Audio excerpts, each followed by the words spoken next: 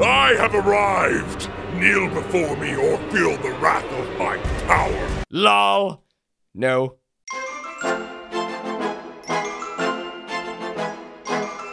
I have spent years studying the most destructive magic in the entire universe. You stand no chance against me. You're right, but I only need one spell to defeat you. And what might that be? The Banhammer.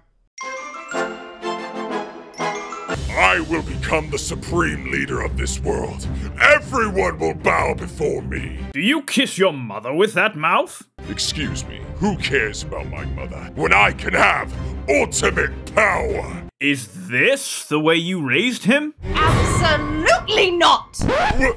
Mom? Yes, but apparently you don't care enough about me. No, Mom. Look, I was just trying to be intimidating. Well, maybe you should actually think about what you are going to say before you say it. Mom. What if I wanted to help take over the world? But- No buts! You're grounded. You're coming with me. Hold on, wait! I wonder when the BBEG will arrive. Not sure. He said he would be here soon. Behold, your death has arrived! What's taking him so long? It's not like him to keep us waiting. I'm right here! Hold on, give me a second here. Let me see. Uh, connected. Behold, I'm here! That's it. I'm calling him.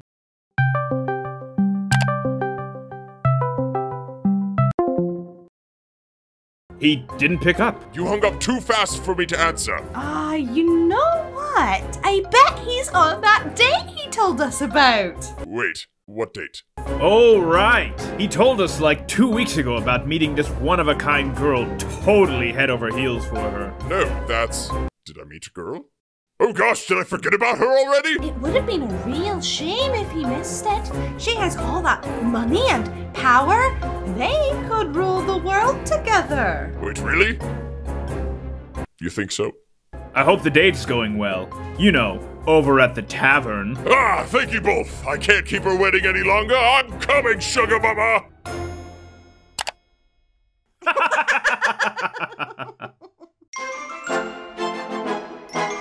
ha! I got you now, Rogue. I use sneak attack. Sorry, you gotta get advantage on me first. If only you said it quicker.